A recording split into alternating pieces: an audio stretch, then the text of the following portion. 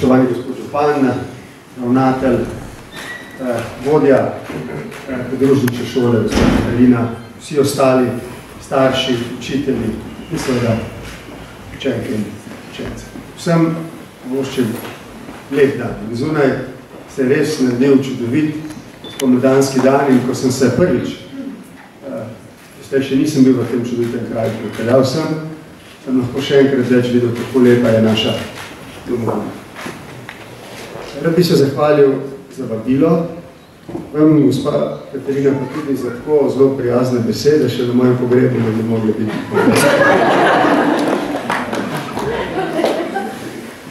Rad bi posebej poudaril, da nič v življenju ni črno-belo, nič ni vse samo dobro in vse slabo. In gotovo imajo podružnične šole tudi kakšne slabosti.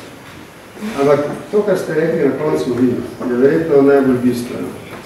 Podružnične šole so zato, ker jih potrebujemo, ker eh, so pomembne za otroke, ker so pomembne za starše in na zadnje, ker so pomembne tudi za učitelje, ohranjajo neko duhovno, kulturno, pa ne na zadnje tudi uh, radovedno življenje v, v kraji.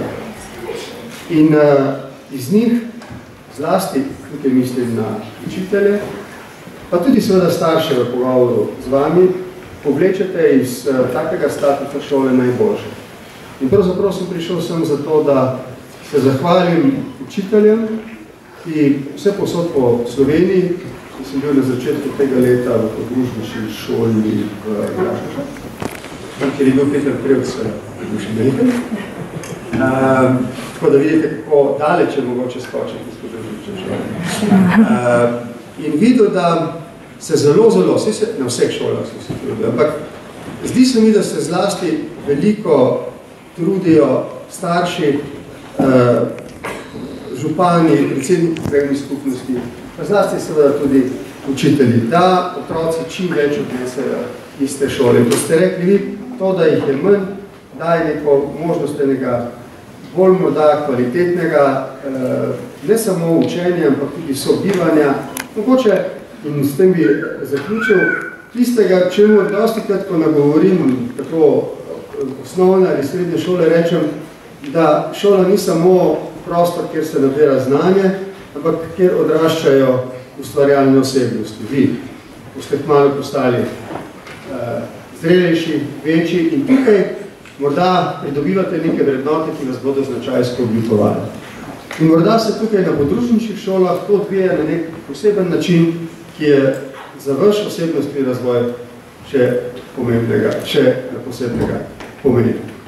Sprejmite vsi skupaj hvaležnost, da sem lahko danes pod vami, da lahko danes uživam, da sem lahko užival v tem čudovitem kulturnem programu. Ključno, lahko čudovite pesnico, to je verjetno edina, ki jo znate, ne?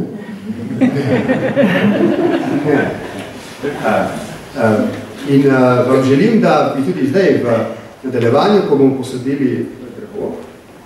s tem dali znak, da želimo, da se tudi vaše otroci, vi imeli otroci, lahko tako primerno šolajo in veselijo prihodnost. Hvala.